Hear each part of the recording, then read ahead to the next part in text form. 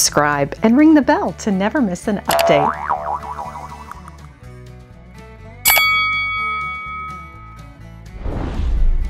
Hello everyone! Today on Lady Mary Beth, I'm taking you back to my stomping grounds, Sealy, Texas, a place where I lived as a child and again as a young adult when I started my career with Waterford Crystal. We are shopping Stockyard Antiques, a hidden gem full of vintage treasures, collectibles, and more. Join me.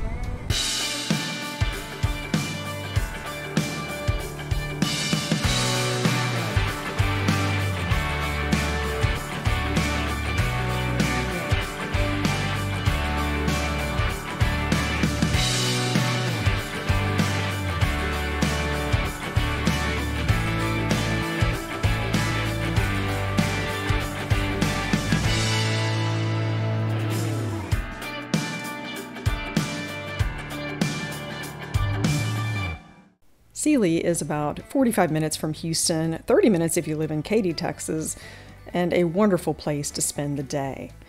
You can find something for the porch and holiday items. This is a fantastic hand painted piece for $3.75.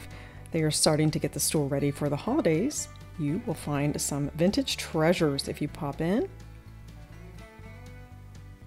And I can't wait to take you inside and discover even more.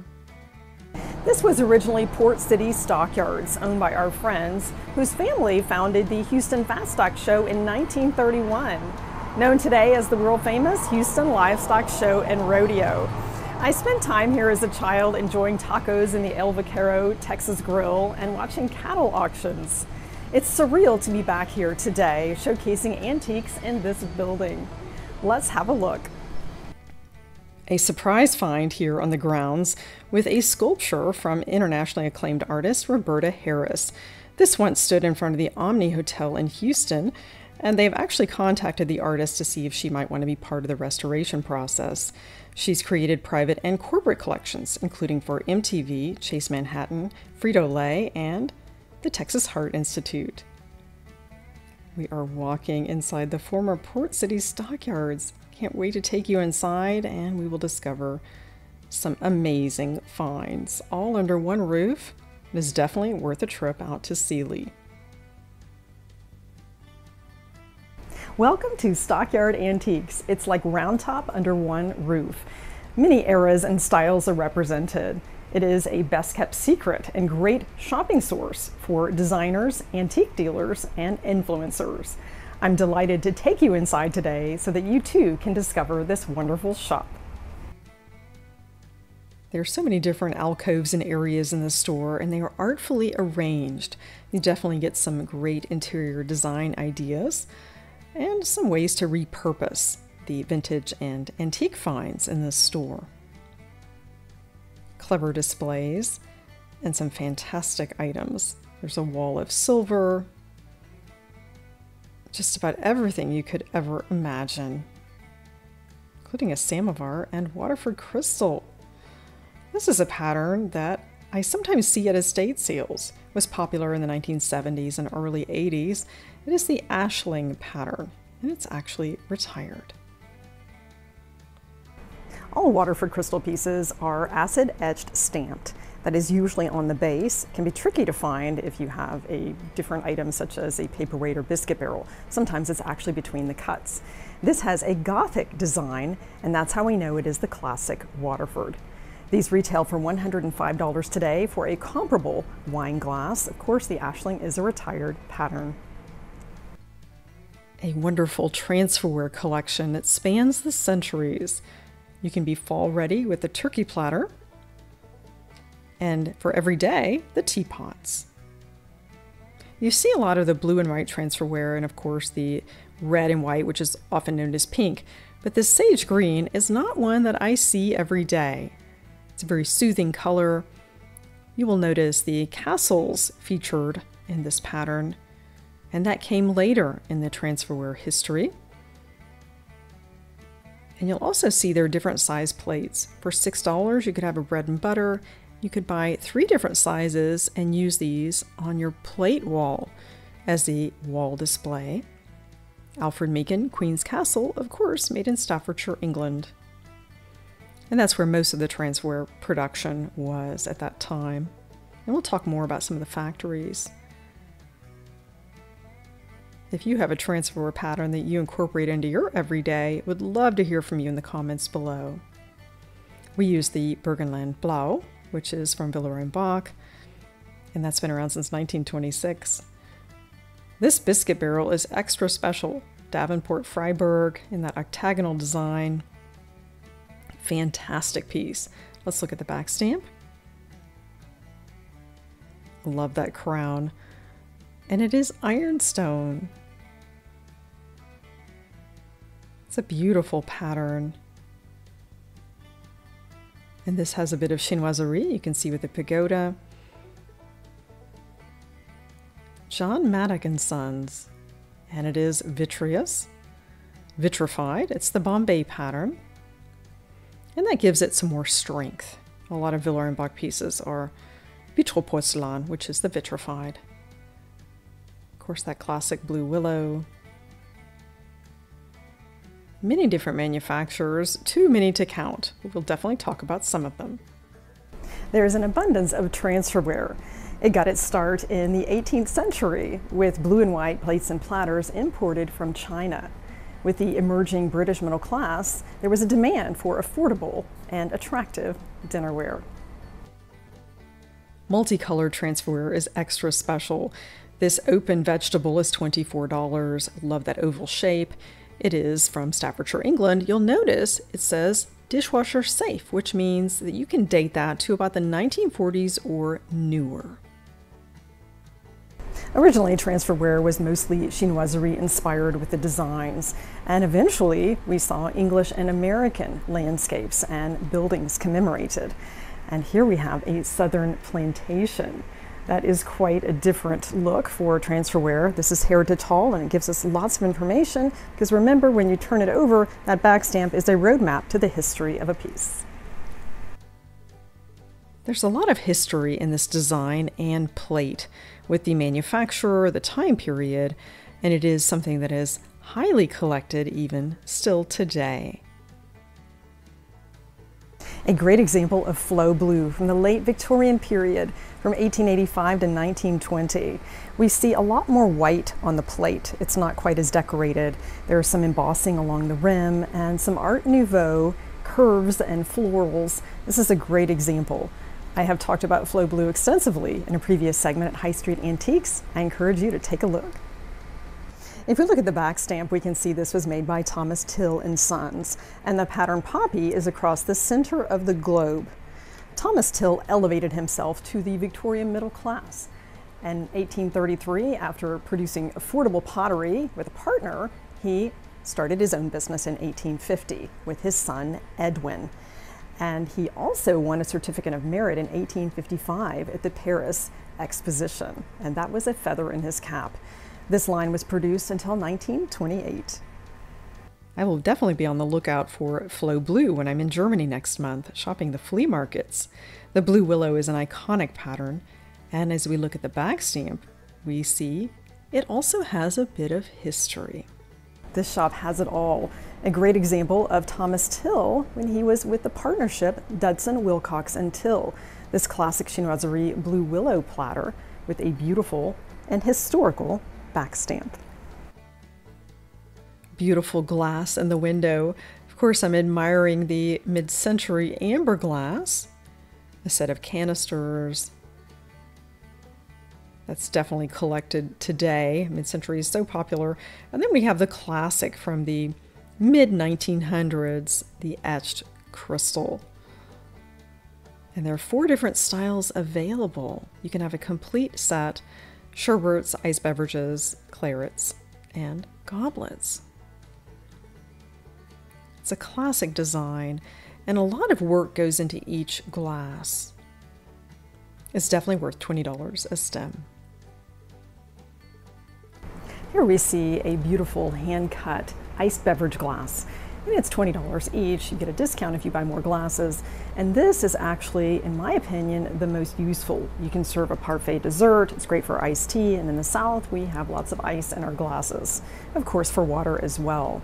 But this actually has a history and a name, TG Hawkes. This is a company that started in 1880 that is quite renowned in the hand cut crystal world. Thomas Gibbons Hawkes founded his company in Corning, New York in 1880 and he took Europe by storm when he won the coveted grand prize at the Paris exhibition in 1889. This is the same year that the Eiffel Tower debuted in Paris, and both are still standing. It's such fine quality etching. You definitely don't see that in beverage glasses today. And it's all in the details. Lots to discover, including some furniture pieces. This is a wonderful cabinet. Look at all of that carving there at the base. $650. This would be a wonderful addition and great storage to your dining room or kitchen. And I can even see this in any room of the house for that matter. It could be in a bedroom. And the demi-tasse cups, aren't these fantastic? Great for a bouillon, even a dessert, maybe a pot de creme. They've got quite a nice collection. I like to feature different demi-tasse. It certainly does not have to be in one matching set. A familiar Dresden set of six for $65, and that's in the US zone made by Schumann. We've talked extensively about that manufacturer in a previous segment. A Marquis by Waterford vase that takes me back to the 90s. This is a collection that I especially enjoyed, the Nautic. $22 for that bud vase is a very good price. It was $49 originally in the 90s. A Party Perfect punch bowl from the Imperial Glass Company. This is EAPG, Early American Pattern Glass from the early 1900s, well priced at $45. Think about the many ways in which you could use this with or without the pedestal. A fruit salad, chips on a buffet, centerpiece bowl, just about anything you can think of. This blue glass is very familiar to me. I found this at thrift stores, made by the Fostoria Glass Company for Avon. That creamer is practical, perfect for brunch, and these were originally candle holders. They held votives. And of course, you can use them as goblets. Martha and George. A cake pedestal that is coveted by many. That square shape is extra special and of course, this is the Fostoria American pattern cake stand. Many of us collect on the Lady Mary Beth's table on Facebook. That's our group page. Some of you have found it for deals. And 150 is actually a very fair price. I've often seen this for 250. And for a mid-century look, we've got some lightingware for you. And that's not something you can find at your local store. Look at those vibrant colors. $125. It's really a great opportunity if you're trying for the mid-century vibe with that avocado green and harvest gold. Love the pink glass. And we've got some other pieces here that I think are extra special. Let's take a closer look. A great example of carnival glass from the Jeannette Glass Company. This is the oval marigold centerpiece. I can see this with fruit, even using it maybe on a work table to store your brushes. This would be a fun piece to add to your everyday. I have visions of centerpiece ideas dancing in my head. This is a fantastic vessel. Love the shape and the style. And here's another great find from the Imperial Glass Company the beaded bullseye vase in that wonderful emerald green color. It is well priced at $45. I've seen it for twice this on eBay plus shipping.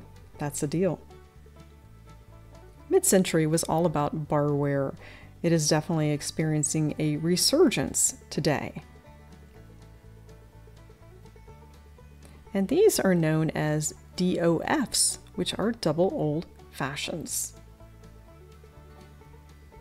Mid-century barware is for the casual and chic connoisseur.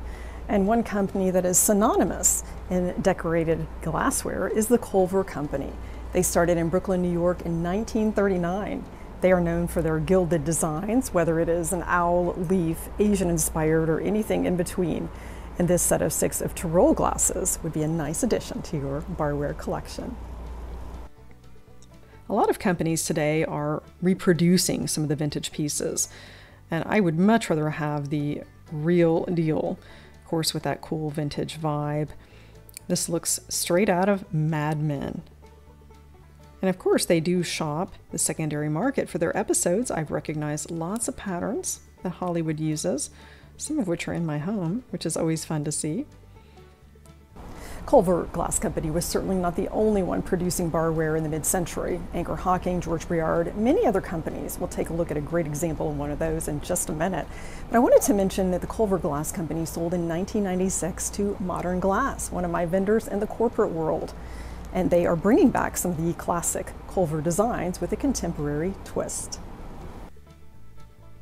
It's the perfect color combination and a wonderful set of six of these mid-century highballs. Priced at $75. Lots of possibilities. It would also be perfect for winter or fall with the pine cones, the touches of aqua. And as we see on the bottom, there's the L for Libbey.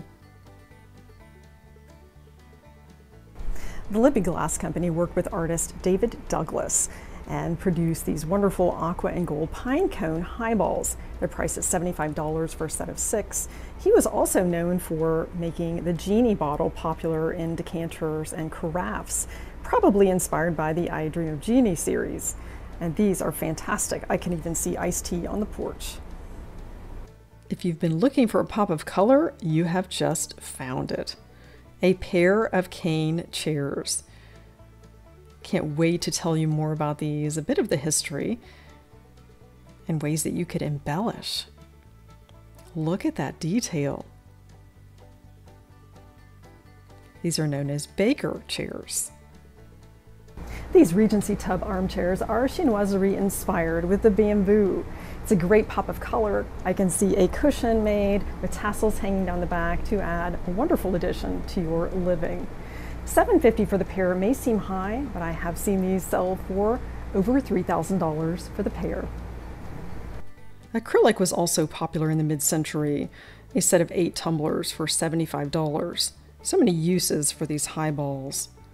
And they pair nicely with this tortoiseshell tray since they both sort of have the same look.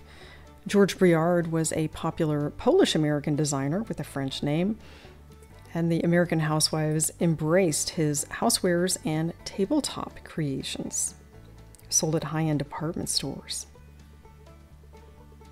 Brass is perfect for fall with the warm undertones. A pair of ducks for $165. That could be an interesting addition even to a tablescape and as you can see, they stand the test of time.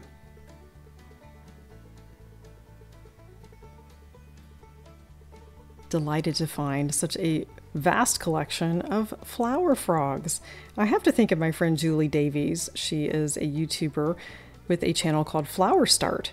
She's the florist who teaches. She's based in the UK, and I've learned a lot from her about floral arranging, and she does some great thrifting. And I'm sure she would enjoy finding this wonderful assortment. And here is a fine lady. The Cambridge Draped Lady is a showstopper flower arranger. She can be placed in a console bowl, and that makes a beautiful centerpiece. Take a look at a previous video where I show you a spring look. And this leads us to an extensive collection of flower frogs, including some vintage ones from Japan. Lusterware flower frogs. These are fantastic, priced at $20. This could be an item of interest you place in a centerpiece, even a side table, create a nice look with that. And one that is actually quite literal, a flower frog. How about that? With a beautiful back stamp, made in Japan, with a shofu mark. I'd love to know the history of that. In the beautiful cobalt, we have a clay piece here from Sid Walker. $24. It is made in Scotland. That would be a wonderful addition to your collection. And of course, the very practical metal flower frogs. This one is $16. They have just about every shape and size. This one's very industrial looking, $45. Course, you have different vessels, shapes, and sizes. And this one was made for a very famous French fashion designer that you would least expect. It's priced at $85 and it's made in Italy for Christian Dior. I wonder if this was a gift with purchase or a special holiday gift. That is a sweet, sweet piece. A wonderful piece of furniture here. And I say that because it is a clock that they have repurposed into a display and beautiful glass, pottery, so much to discover in this shop. This is sort of an Art Deco 1920s design. A pair for $48. These are beautiful. I've not seen these before. They are called Chippendale. And I think that's a great price. And there's even a larger one. You could create a nice display on your table. This is a vintage Austrian flower frog. It's actually known as a pansy ring. And that's something that I've seen in Europe occasionally at flea markets. This looks to be American Brilliant. Look at all of those wonderful cuts. It is a heavy piece. Such detail, $110. You'll notice the stem also has cuts on it. Another flower frog for $18. You could channel your inner Mary Poppins. That's fun. Maybe for a baby shower. Capodimonte piece for $85. So many different styles and options here to add to your decor, your tablescapes.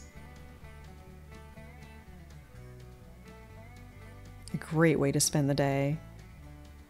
Lots of silver utensils in this room and more china patterns. This is an antique cabinet from Batesville. And we find some mid-century double old fashions here with a carrying caddy. And these I'm sure are Culver. Look at that detail, yes. Set of eight for $250.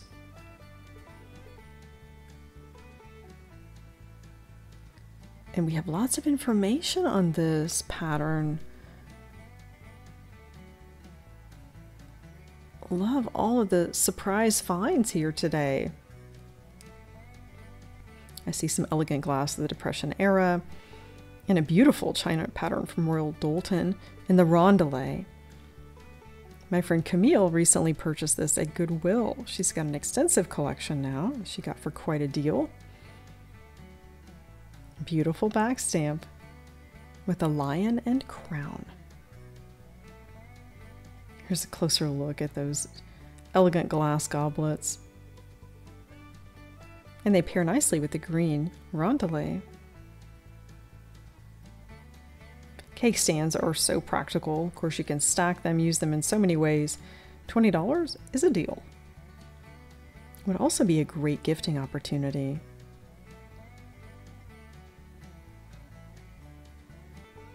some hand painted china with that sugar and creamer, and a bargain find. Was excited to find these. I wish that I had a party coming up because that would give me some ideas. A very sweet southern look. And the carnation pattern from Royal Doulton.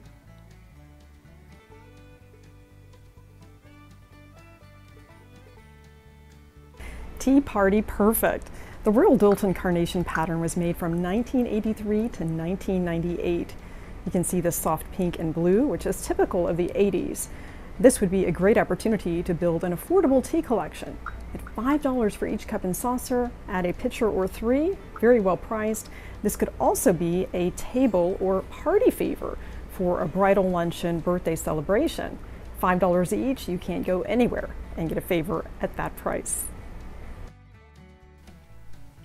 A brass samovar and a beautiful bookcase. I'm going to take a closer look at this. I know that many of you enjoy the antique furnishings, and this is a burled wood walnut secretary from about 1880. It's priced at 1150 It is a wonderful, stately piece. Such detail. And inside we have a collection of rare books. What a beautiful assortment that is and nicely displayed. It really is like shopping in an interior design store when you're here at Stockyard Antiques. Works of Irving. Quite a comprehensive set. They are known for rare books, and we'll take a closer look at some of these. 27 volumes. Washington Irving. Some nice porcelain pieces as well. And here is a glimpse at their rare book collection. You could spend a lot of time here, and most of these are from the 1800s. You'll want to look for the gilt edges. Many of them also have hand cut pages. And inside, we have some copper engraved prints that are used as illustrations. There are many German families that settled in this area of Texas, and here is a book from 1906, Neue Christoterpe Jahrbuch. This was part of the Evangelische Kirche, which is known as the Lutheran Church in the United States. It is from 1906. It is $25. Isn't that amazing? A piece of history. I'm always looking for chinoiserie. It is great inspiration, and it's always nice to add a few pieces to your collection. And this cabinet is fantastic with a gold lacquer. It almost looks like a lighted cabinet. I see some Korean celadon as well. It is a gold leaf interior, 950 for the cabinet. And speaking of gold, look at this gold edged plate. Just love this design. And they have six available. I wonder if it's Limoges. Let's take a look. It is Royal Bavarian from Hutschenreuther, made for a New York company. And I always have an eye for Wedgwood. I see this Jasperware plate. Have to take a closer look. Well priced at $25. Again, that would make a great gift. When you think about going to a box store, what can you get for $25? Really, not much. Herend is a Hungarian manufacturer with a beautiful back stamp, and their items are very expensive. These vintage baby shoes at $48 and the Rothschild bird, I think, is a fantastic price. They have a lot of 1950s linens as well, lots to discover. For the washstand, wouldn't that be a nice addition? 150 in the Art Deco style. Vibrant colors. And the sunflowers are catching my eye. My older daughter, who now lives in Germany, absolutely adores sunflowers and the color green. At $60, this needlepoint has kind of a combination of cross stitch as well. That is a bargain and it's framed, and this is going across the ocean. And now we're going to take a closer look at another collection. Toby jugs became popular in the 1760s and they are highly collectible today. They carry back stamps such as Royal Doulton, Burlington Ware, Wood Sons. They are ceramic pitchers modeled in the form of historical figures, persons of interest, even animals. And they have a tricorn hat from which you pour the liquids. Let's take a look at this collection. My friend Cassidy has a nice collection of Toby jugs that she inherited from her grandmother. It's nice that it's something that's still enjoyed by the younger generation today. And there's some familiar ones like the Old Mac, $25. Royal Doulton, I would say, made the majority of the Toby mugs that you find today. And I am surprised that there are other manufacturers that maybe are not as well known here in the United States. And we learn from the back stamps, of course. For $20, here's a Burlington ware jug, made in England. And from Wood & Sons, this Toby has an interesting shape, priced at $30.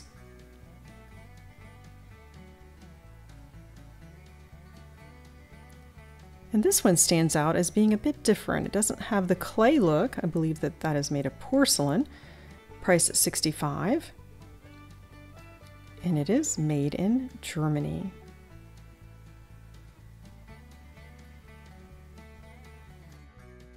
The first Tobys were seated, jovial men with a tricorn hat, puffing on a pipe and holding a mug of ale. This is the first one that I've actually seen that's made outside of England. This is a Toby from Germany. I haven't been lucky enough to find Toby jugs in a thrift store yet, but I am still looking. It'd be a nice start to a collection. We have some German beer steins mixed in as well. I'm also noticing as I'm admiring these Toby jugs that someone has taken a vintage yardstick that was a promotional item given by a bank and placed it here on the shelf. That adds interest. And what's even more interesting to me is that this is from Cuero, Texas, a town where I lived in later childhood years. And what a nice surprise and a great use of a yardstick. Here we have a hidden alcove full of pottery from some of the famous makers. And you'll notice the addition of seashells.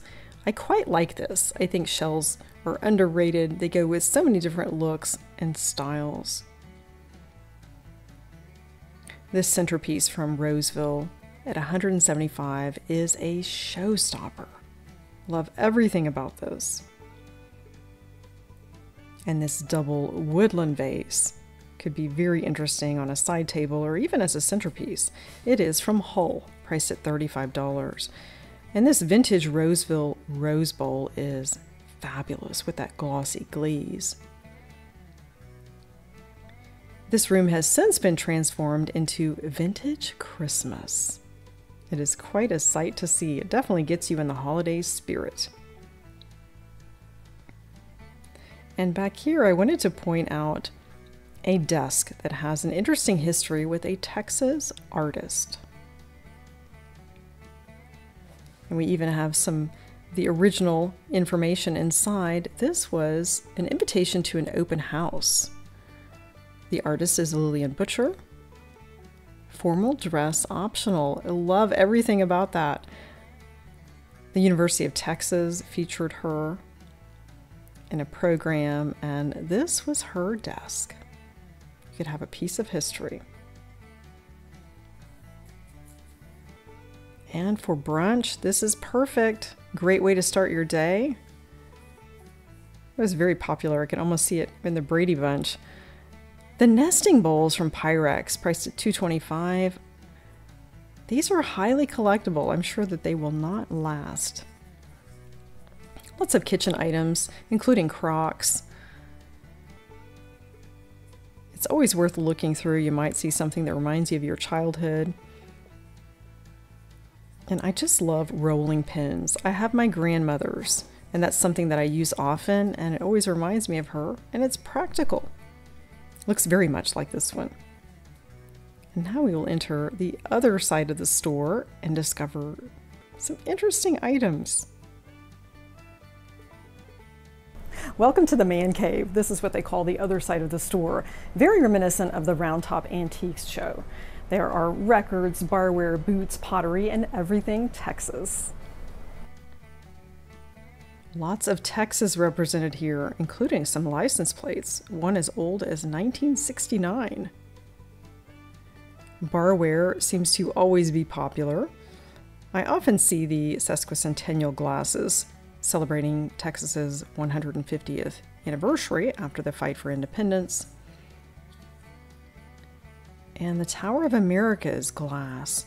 My parents married in 1968, the same year as the HemisFair, and they also had their honeymoon in San Antonio. Love Ya Blue, Houston Oilers, that was our football team for years. These double fashions are, I'm sure, hard to find. And it's now the Tennessee Titans, based in Nashville. You know you're in Texas when you find boots and cowboy hats at an antique store. There's a pie safe and a vintage frame that has an interesting tie-in that I wanted to share with you today. These you often see in Round Top Antique frames have become highly collectible, especially those from the 1800s. You see these in round top often. And many folks will remove the photo, place fabric or wallpaper inside, and even display vintage plates. You can get creative with some eclectic vintage decor. This actually has a connection to the town of Sealy and to my school years. This came from the estate of Maggie B. Selman. She was a distinguished educator and my elementary school principal. She left her entire estate to the Sealy Independent School District. Two schools have been named in her honor. This is most likely her mother, Emmy Ketting Brune. An array of Western boots and hats. Definitely a man cave here, and some old records. Elvis, Jim Reeves,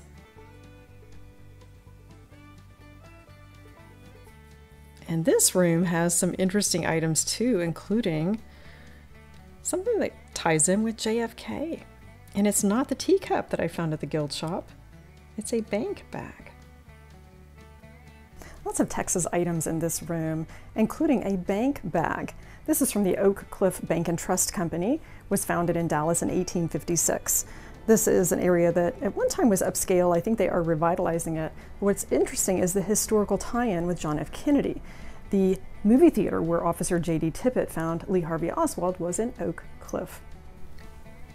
Definitely some masculine items here if you're looking to outfit a boys' room or even a guest room and you don't want to go too feminine. I see quite a few items that you could add.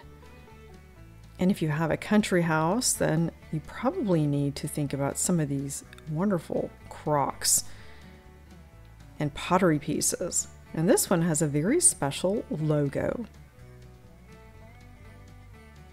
More Dallas, Texas history from the Love Field Pottery Company. that started in 1923 on the Love Field Air Base.